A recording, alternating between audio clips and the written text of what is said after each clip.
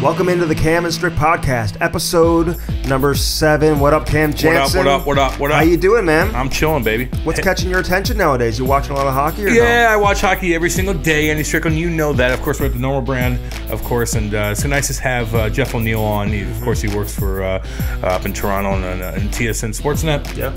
And he had a lot to say.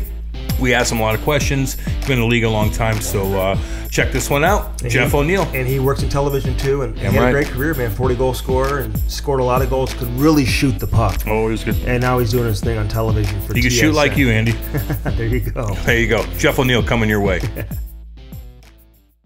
Another great guest here once again today. We're live at the normal brand here in Ladue. You can't miss it. We'll tell you all about that and all the great deals they have coming up, as well as we get prepared for the Christmas season. It's a little bit of snowy weather outside. People get a little worked up. They don't know how to drive in the snow. Jeff knows how to drive in this. Well, Cam is one of those. Cam has like this huge truck. He can't drive in the snow. Um, listen, you know, you always know that we want the uh, the best guest, right? Absolutely. So we delivered the best guest here on the show on the Cam and Strick podcast, and we have another good one for you here on this week, and the one and only O Dog Jeff. The O Dog. Love it. Jeff, what's going on, buddy? How you guys doing? I'm a little bit disappointed today. I bought this like it's like a Jeep pickup truck and I thought it was going to be because I take my kids skiing every weekend. I thought it was going to be like this awesome truck in the snow. I was sliding around the roads like I was like on a go kart today. I have to call the people and be like, "How do I? What mode do I put this thing in?" Because it was, it was a joke. I we, we got snow up here too, guys, and it's. I just love how people they just. I get it, it's snowing, but just go a little bit slower and drive normally, and things should be normal. But it, it gets crazy, man. You don't have any, but you're Canadian. Like that, that that's supposed to happen here, or maybe you. in Raleigh, North Carolina. You'd fit in in St. Louis with that kind of driving style there, Jeff. Isn't it, uh, dude? You have to see when you're in Carolina. If there's one drop of a snowflake, every school is shut down for ten days. I'd never seen anything like it. They're soft out there, I heard. They're soft in Carolina. They're soft in St. Louis as well. But it's, It's crazy, but we're all alive, so we made it. no, exactly, and it's funny. I, when I played in Ontario, uh, in, you know, in the OHL, same as you, I played for Guelph as well. I remember seeing like like sixteen year old girls driving eighty miles an hour in a foot of snow without any problems. But you come to St. Louis. And no one can do shit, even in a dump truck. It's it's, it's Yeah. nuts. So you guys know how to deal with it. We absolutely don't. But Cam, uh, the one thing I find crazy is when there's a snowstorm, and I have a truck, and I'm not like I'm a 43 year old guy, and I got three kids, and and I don't drive like a like a really old person, but I'll always see a guy like in a neon, like a little neon, going 180 miles an hour on the highway in a fucking snowstorm, and I'm just like, how are they doing that? Like what? What kind of car? Like how do they do that? But I don't know. That's that's, that's just a one of the things I. see. it was a tricked out neon. I don't they're know really what cool. the hell it is, man. with snow tires. Yeah. You sound like me, 43 years old and three kids. I feel your pain, Jeff. I know exactly what you're going through. We kind of relate from that standpoint. Hey, I'm curious. Uh, you've been around hockey forever. Who are your St. Louis connections? Who are you tight with? Who played here? Who maybe lives here? Besides Kelly, you can't say Kelly, Kelly Chase. Uh, no, I know. We don't care I'll, uh, about we I'll- don't care about him. Who else? I'll go. I'll go a little bit different with my St. Louis connections. Uh, uh, Brendan Shanahan was my first left winger uh, in Hartford. I played in Hartford, and Shanny was my first left winger. And it was like there was a bunch of St. Louis guys that came over there. Um, Jeff Brown, Nelson Emerson, Oh, yeah. and um, you know they were not exactly i kind of felt bad because i was a young kid in hartford and i kind of thought the hartford whalers it was the team that drafted me i thought it was the greatest place ever because they were in the nhl but the guys that came from different organizations they were like um, this isn't this isn't this is not uh, how it works in the NHL, and it was tough because we didn't draw a lot of fans, and everyone in the in the New England market was either Ranger fans or Bruins fans. So it was like, you know, the Whalers were the odd guys out, and we ultimately had to move. But um, it, it was just you know the guys from St. Louis, and they had a good crew there. They had obviously Holly and Chaser, and um, you know they had they had a good thing going there. And when they got to Hartford, I don't think they necessarily loved it, and I don't think any of them kind of lasted too long there. That couple years maybe, but. Um, there was a there was a deep St. Louis connection when I got to Hartford. I'll tell you what, even playing in the American League when I played for Albany, when we played Hartford. I'm like, oh, this place is kind of dumpy, and that was an American League standards. So I, I, I feel your pain on that. But then you. But then you go to Carolina, which is like a unique situation though, because anytime you fly to Carolina, I remember playing them, and people are playing fucking. They're playing football in the parking lot. It's just beautiful trees everywhere. It's like it's like a big park everywhere you look. But how was that transitioning from from Hartford to Carolina, and all of a sudden you guys had a pretty damn good team too? Yeah, I loved it, Cam. I mean, we and it's it's uh, it, it, it's what you want. I mean, people like I also played for the Toronto Maple Leafs, where it's like you, you- you're known everywhere you go, and if you score two goals on Saturday night and you go You're out going to a out. restaurant, you're yeah, you're you're you're loving life. But um, in Carolina, I don't think I got recognized the first five years I was there, which I was totally fine with because that's not something that I really care about. I love golf. I got to play golf every day. Um, and I, I hung out with my golf buddies. I'd go and play golf after practice, and I'd hang out back in the card room with the old guys back there, and that was kind of the uh, the life I kind of carved out for myself, and I thought that was awesome. I think it's great not hanging out with your teammates twenty four seven too. I kind of had my life away from the rink. The weather was awesome. Pinehurst was forty five minutes away. Oh, yeah. and I, I, I thought that was a great way to kind of live your life. So, help me understand a little bit, you know, your perspective as a hockey player, because I, I always get two different types of players. I mean, some guys love the game; that's all they want to do. They're David Perron. They go home and Yeah. stick handle in the Little living room. nerdy, little nerdy. And and other guys never watch hockey and are playing in the NHL solely because they're good at it and you know it, it pays mm-hmm. well. Which, which side of the fence were you on, Jeff? Did you love the game? Did you eat, breathe, and sleep hockey when you were playing in the NHL? Yeah, I kind of my approach was I was always shocked when I I was basically kind of a, a quiet hockey nerd. I wanted to watch all the time because I thought you could pick up a little bit you could pick up something and I kind of use that in my job now as an analyst. It's just like if you continue to watch, you might see one play where a defenseman turns a certain way and you might be able to take advantage of that or like a, a Tarasenko move.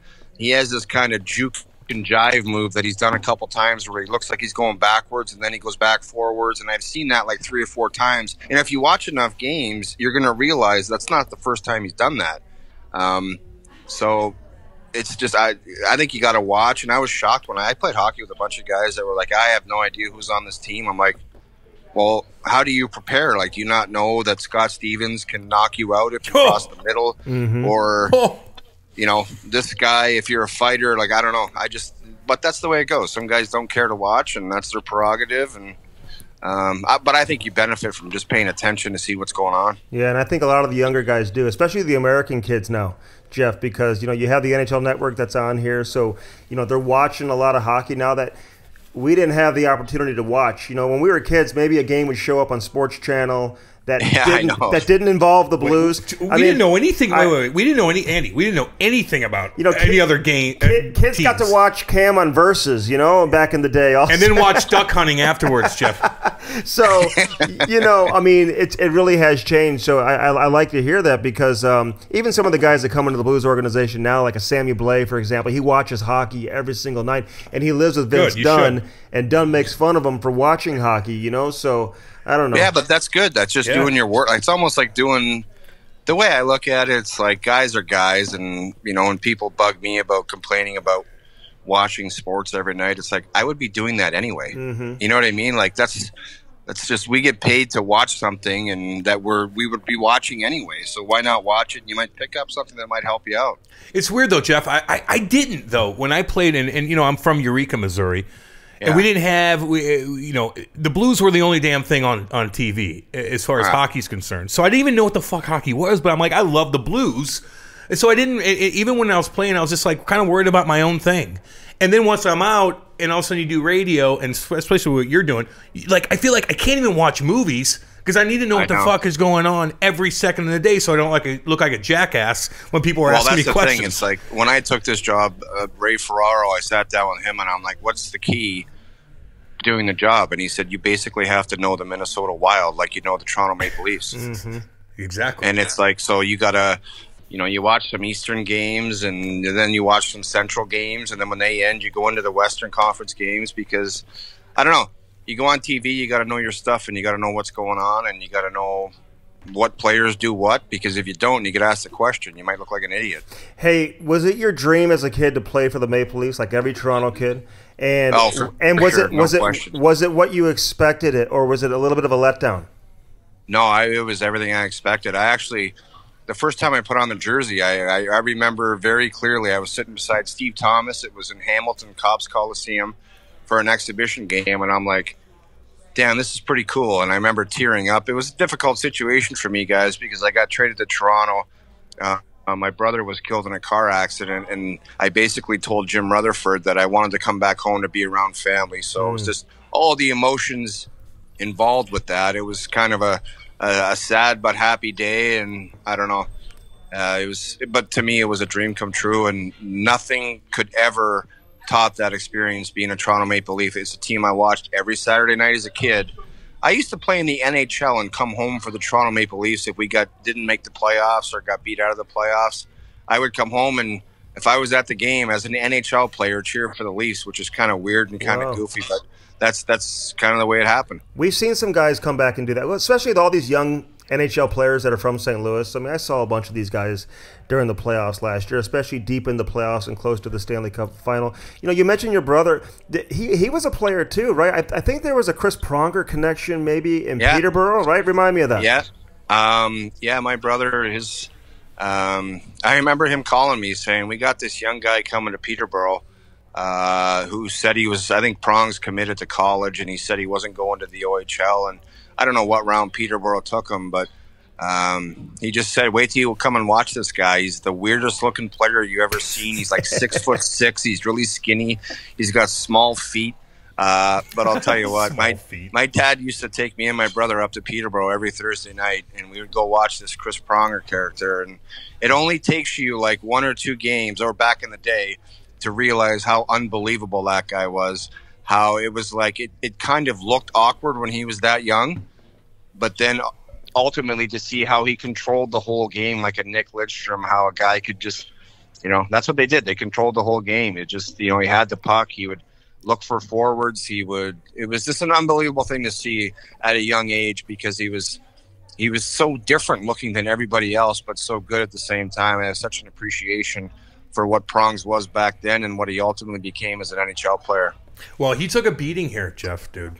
Early I- on, when he, he came no, from, when he, he- came from Hartford, He took of all a fucking yeah. beating Yeah. here. Yeah, you got because Shanny everyone Leaf. was like, "This guy's not Brendan Shanahan, and he's not mean." Yeah, But I'll tell you what, it didn't take him long. no. and he It didn't take him. no. It didn't take him long to say, you know what, I'm going to start cross-checking people across the head. There maybe you go. People in St. Louis will like it because he did that uh, uh, quite nicely uh, in the NHL. Well, I'll- just say that. I'll give Mike Keenan credit because he did say when he made the deal, he said, "Hey, this guy will win a Norris Trophy one day." And again, like Cam, he grew up here in St. Louis. I did too. Cam said he was a fan of the Blues. Not they, they don't know who guys are who don't play for the Blues, and Even know they hockey, They're not like the following game. the, OHL, so they don't know who the, what the potential is. But you know, Brendan Shanahan, just an absolute superstar on and off the ice here. So that was tough for them to take. Um, all right, Jeff. So you said you got to you got to know the Minnesota Wild just as well as you know the Toronto Maple Leafs. I mean, who's your favorite team to watch right now? When they're on, you're glued to it and you're watching.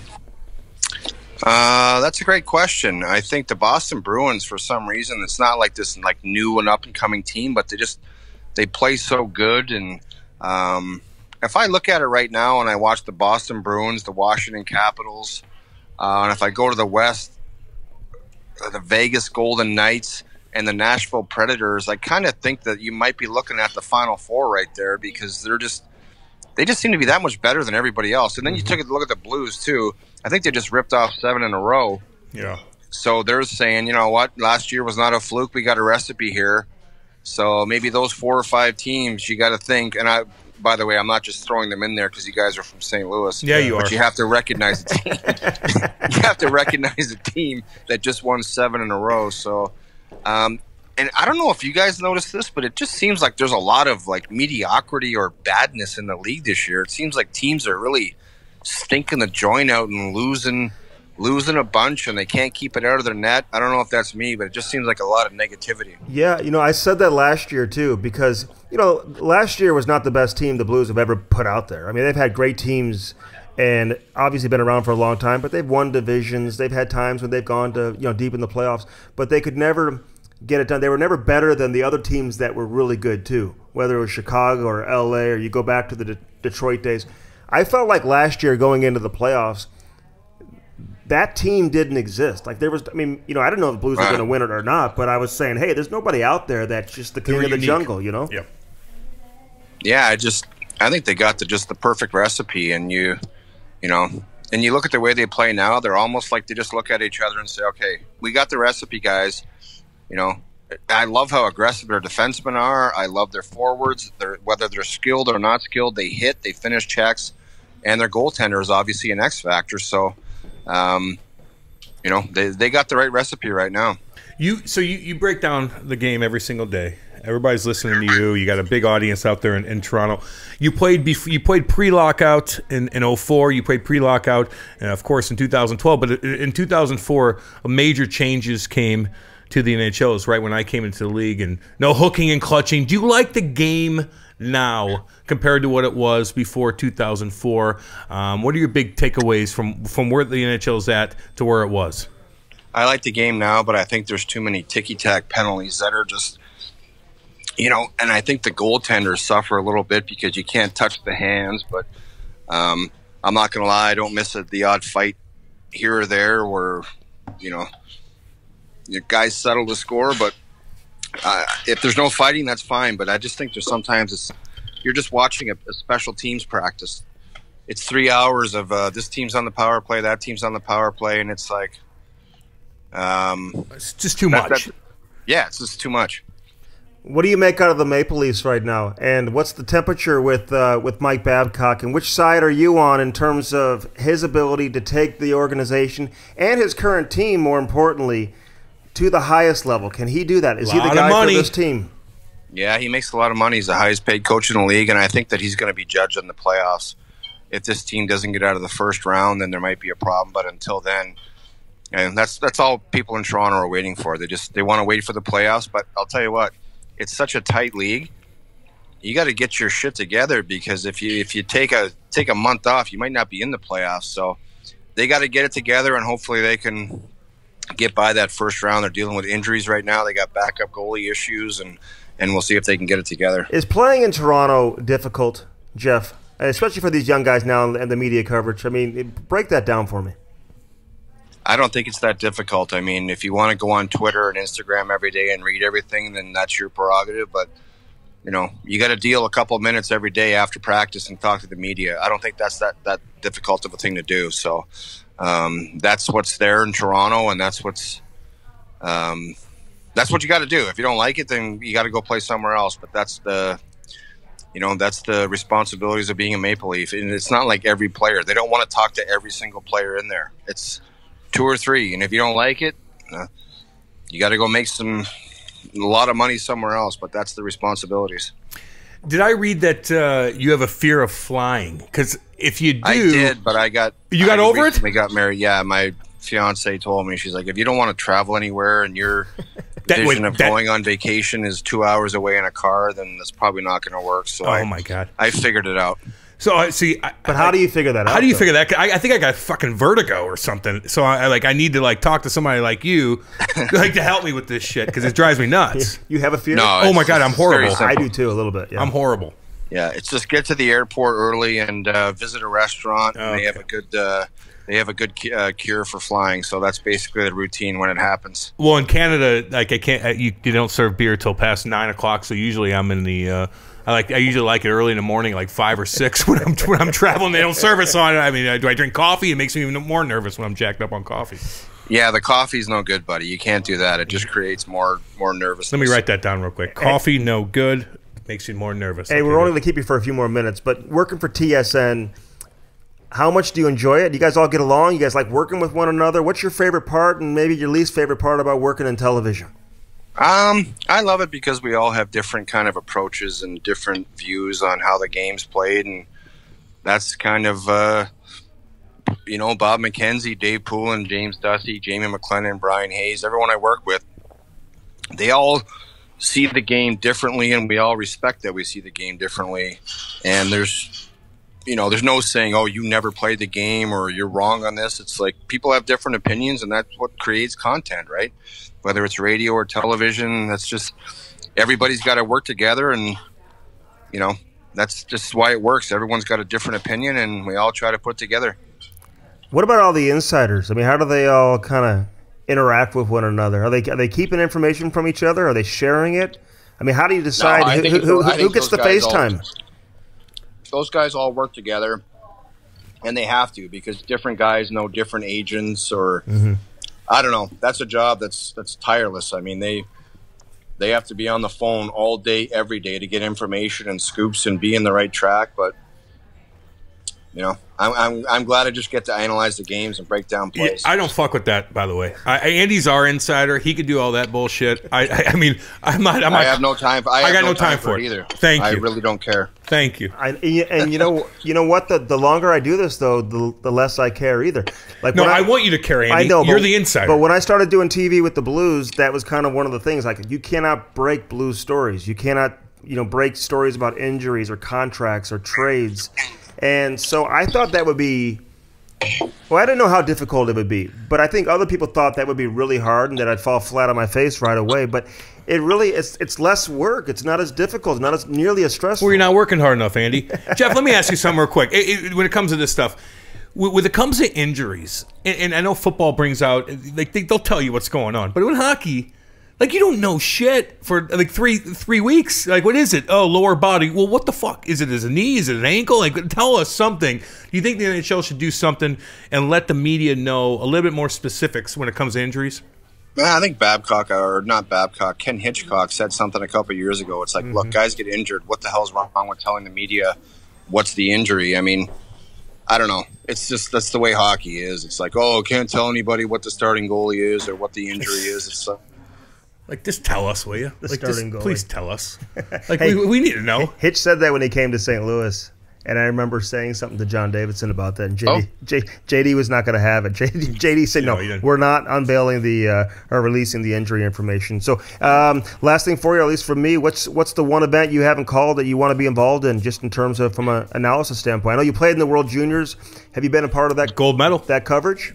yeah, I've done the World Juniors a bunch of times, and I love doing that event. Uh, I love everything working at TSN, the Hall of Fame game, the trade deadline. It's just you get hyped up for the big events, and they they always seem to write themselves. So it's been a lot of fun. Jeff, thank you for the time, man. I appreciate it, and uh, you're doing great work. I'm going to be on tomorrow with uh, Carlo and, uh, and and Landsberg too, so I might uh, pump your tires a little bit. You're going to be a way better interview than Carlo Colaiacovo. And he's going to be a little bit pissed at me that I had you on before him, but he could uh, he could take it and like it. All right, boys. Thanks for having me. Have a good day. Okay, See you, buddy. Appreciate it, Jeff. Uh, that was Jeff O'Neill for you. This is the Cam and Strick podcast, of course, coming from uh, coming from uh, The normal brand. The normal brand. Great stuff here, Andy. You look slick as Thank you. usual because you're wearing their clothes, and that's it. But this was Jeff O'Neill. We got plenty more to come. Check us out on Spotify. Check us out on YouTube. Check us out on iTunes. Cam and Strick podcast. There you have it.